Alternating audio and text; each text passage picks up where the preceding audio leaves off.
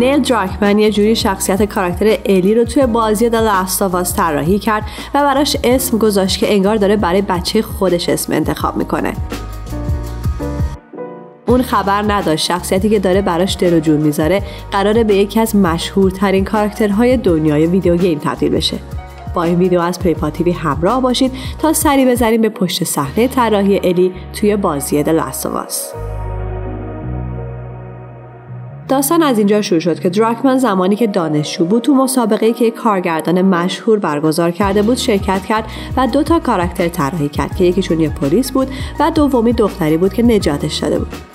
پلیس دخترش و دختر پدرش رو از دست داده بود. دراکمن و همکارش استریلی این ایده اولیه رو گرفتن و اونقدر تغییرش دادن که در نهایت به جوئل و الی رسیدن. منتها تعاقدش با ایده اولیه این بود که نه جوئل پلیس بود و نه الی فقط پدرش مرده بود. الی در واقع همه چیزش رو از دست داده بود.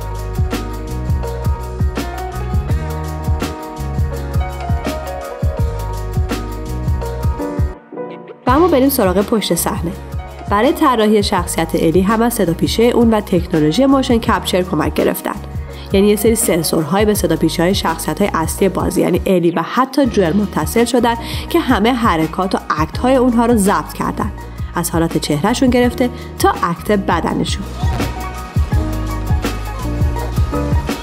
جالبه بدونید که اشلی جانسون اونقدر خلاق بوده و توی حس فرو رفته که حتی دیالوگ ها و تیکه های هم به بازی اضافه کرد که دراکمن خیلی خوشش اومد. در واقع این الی که در نهایت ما دیدیم از روی خود اشلی گرفته شده. هرچند که دراکمن میگه الی برونگراتر از جانسونه اما حالات و رفتارهای عجیب و غریب هر دوتاشون مثل همه.